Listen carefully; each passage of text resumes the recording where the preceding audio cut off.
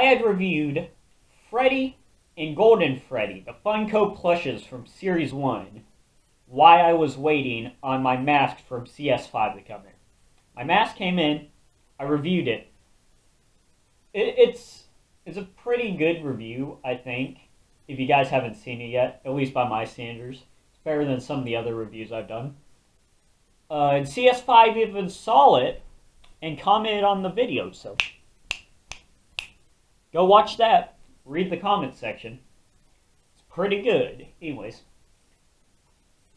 So, I, I reviewed those as filler videos until, or I reviewed those two products as a filler videos until the mask came in. But now that I've reviewed the mask, I figured I might as well finish what I have of that wave.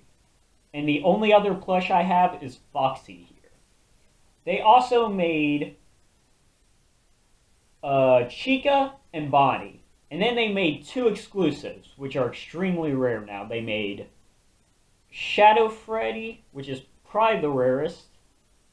Though the exclusive I have, the Golden Freddy, is probably the second rarest. But then they made the Toy Freddy, which is also extremely rare. But yeah, another cool thing is after reviewing those, I started looking around at other reviews and channels dedicated to covering FNAF news.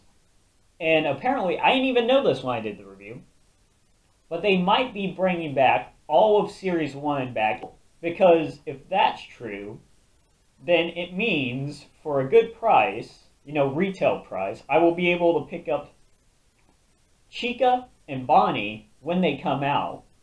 I think it's just a rumor at this point but I'll be able to pick those up and finish reviewing Series 1 besides the two exclusives that I don't have.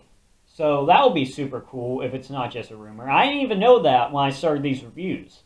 I just now got back looking at FNAF news and stuff online and news about Funko FNAF merchandise. And that was announced a couple of days after I think I did my first review. Uh, so, yeah, that's pretty cool. So maybe I will get those and review them. Because they're apparently supposed to be the same plushes as Series 1, just reissues. Uh, I know I've got a little off topic so far, so let me get into this. So you're probably wondering why I have Chica, I mean not Chica. I was just talking about Chica and Bonnie. So now I've, you know, I don't script reviews. So, so anything goes. But I have it saying on a DVD, and that's for one reason. Because Foxy cannot sit when he's on a hard surface. I don't know if this is just my Foxy or if all the Foxies were built like this. But as you can see, my Golden Freddy, he sits up pretty nice because his bottom and his legs are pretty much straight he sits completely flat. But Foxy, on the other hand, is sort of at an angle, so he will not sit by himself. So I have to put him like this. Luckily for me, whenever I display Foxy, I have him either on my bed, where you know there's blankets and stuff, so he can actually sit up, you know. Or I have him on top of my TV with my other two FNAF plushes. And because of that, they set up, because it's flat screen TV and there's a wall right behind it, so his legs sit on it, his back rests against the wall, and it works. It works, you know. He sits up there, no problems. But if you're looking for one, just keep that in mind that yours might not sit. Now, out of the three I have, this is probably the one that aged the worst, because I don't know if you can tell, but right here he's got a little string hanging and on his muzzle, one of his dimples is all, has a little bit of string loose. And maybe that's because it's been in storage, but maybe it's because I wasn't as nice to this plush. Because Foxy, even though I think he's really cool as a character, he was the animatronic that mm, got on my nerves the most. Because I don't know if you've ever played the first Five Nights at Freddy's, but the other animatronics you can look at the cameras and kind of track as they come up. Uh, you know? So it's mainly just conserving power and keeping an eye on them and keeping track of them mentally. But Foxy, he will pop up and run. Like he will literally book it. And he'll jump scare you. I I remember he was actually the first one that jump scare me. Because I made it through the first night, no problems. Because my friend had explained the game to me. And I had sort of got it, right? And I, I, you know, phone guy was on there during the second night. I was so concentrated. I'm like, I'm not going to get jump scared for at least the first two nights. I made it through the first night. Going to do this at least the first two nights, right? And I was so concentrated on all the animatronics and flipping back between the cameras that I did not hear the phone guy say, because I was so concentrated on the gameplay and not what the phone guy was saying, I didn't hear him say, oh yeah, you might want to keep an eye on Pirates Cove. So I wasn't keeping an eye on Pirates Cove, and Foxy ran out and got me. Uh, it wasn't that time, but as I was saying, I may not have been as nice to this plush as the other ones. I can remember at least one very distinct time in my mind where I had the plushes on my computer. Well, not my computer, but the desktop that my computer was on. And Foxy got me, and I turned and I backhanded the plush off onto the floor. So that's at least one instance I can remember. I don't remember any other times. More than likely, this wear is just from time and being in storage. But yeah. So I will give you a 360 of them.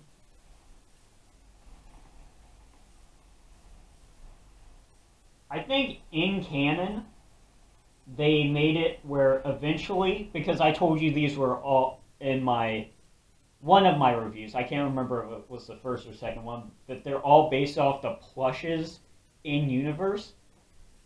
I can't remember which one of the later games it was, but they actually retconned him where he had a hook on the hand of the plush, just like the actual animatronic has a hook. But in the first game, it wasn't like this. So depending on which game you're looking at, this can be accurate or it won't be. Another cool thing is he's got his little thingy sticking out. He's got one tooth and he's got thingy. Something weird is this plush does not have an eye under his eye patch. He's got the one eye and then the eye patch. So I imagine that there's at least a couple of these plushes out there in the wild that probably lost their eye patch and just looks super weird right now. It's it's gotta have happened. It's probably happened. So keep that in mind. That if you're looking for them on eBay or something, to check the listing and make sure the eye patch hasn't came off. I think I still like Freddy and Golden Freddy better. Golden Freddy the most. But I really love this design. This is a great looking plush. It's it's so cool. He's so cool. The character himself probably not as cool because he's kind of a jerk, but the in-game character anyways. But you know, another thing to keep out is his ears. I was looking around and I think I've seen copies of these where his ears sometimes go flat. So keep an eye on that. I've never had a problem with mine. In fact, I even sometimes make him run and his ears flop around. So, yeah, uh, maybe it's not that big a deal. Maybe if you just treat him right, his e he'll age better and his ears won't flop down. Mine don't flop down. Another thing to point out is he's a very soft plush. And just like all of these, these are all soft. And he's got a nice little tuft of hair right here. He's very cool. If you can pick him up for a good price, I recommend getting him. Especially if they re-release them and you can pick him up for $10, I 100% recommend him. Uh, just keep in mind the pros and the cons I've said. And I think the good really outweighs the bad because everything I've mentioned is that's the problem with this is a probably a problem to this specific copy. Him not being able to sit for sure, but like I said, that might also be a problem in this specific copy. But would he be the first one you'd pick up? Even Golden Freddy, Toy Freddy, and Shadow Freddy, which are the exclusives aside, just out of the core, was it four? Let's see, Freddy, Chica, Bonnie, and Foxy. Yeah, the core four. He might actually be the second one you should pick up. Probably, yeah. He's probably second best, not counting the exclusives. So I would recommend getting Freddy first, and then this guy. So, yeah. He's really good. He's pretty cool. And another thing I should mention is I actually like how his eyes are designed. Earlier, when I, I just, that's something you should keep in mind, that he only has one eye if that kind of thing bothers you.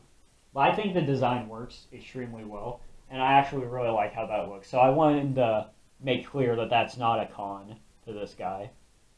That That's definitely a pro for me, but you might feel otherwise if you're thinking about picking this plush up.